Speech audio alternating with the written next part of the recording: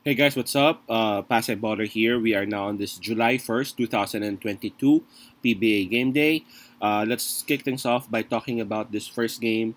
Um, Talk and Text Tropang Giga going up against Terra Firma Jeep.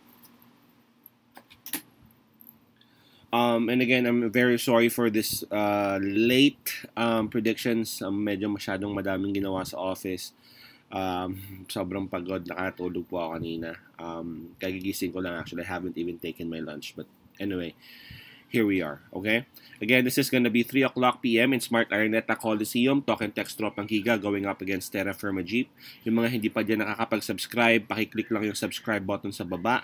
Sama nyo na yung, major yung, yung bell logo. That way, automatic, pag meron na tayong bagong prediction, NBA man yan o baseball or PBA, makakuha kayo ng notification. Okay, Talk and Text Tropang Giga, they are one of uh, the best teams right now in the PBA. We all know that. Uh, actually, on, on this particular conference, their record is at 6 wins and 2 losses. So, sobrang ganda ng performance nila. Nakakatakot ever since Mikey Williams arrived.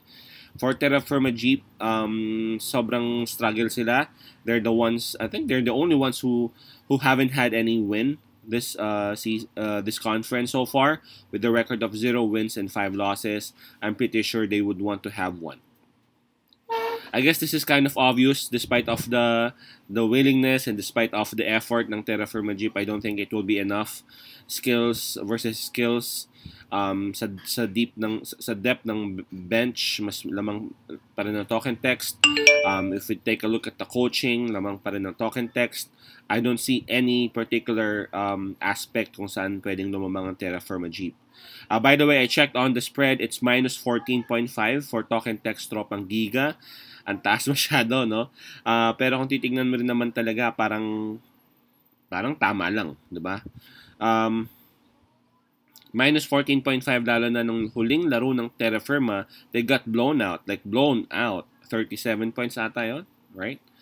Um, and again, considering and text, and text's performance lately, minus 14.5 is just, I guess, fair. Uh, pero on this game, um, I'm gonna go with Terra Firma Jeep with plus 14.5. I'm looking at talk and text uh, as you know as a team who would actually take this win, pero hindi yan masyado ganun ka, ka, ka push. I'm pretty sure that their coaching staff would also try to uh, take um, some of his uh, of of their starting uh, five or other players and give uh, and give them some some resting time uh, so that they can give opportunities dun sa iba nilang uh, players off the bench. Ter Terra Firma Jeep galing din yan sa sobrang pagkatambak. I'm pretty sure they would have some pride uh, and they would actually push harder uh, na hindi maulit yon. Um, pero yun nga, I don't think that will be enough para matalo yung token text. Pero yung 14.5, I think kayang makover ng Terra Firma on this particular game.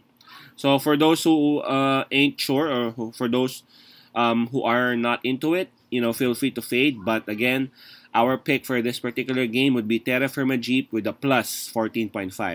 Kung yung mga lalagyan ninyo may mas malaking plus, go ahead, take that. Again, Terra Firma Jeep plus 14.5. Peace out, pass love, and God bless.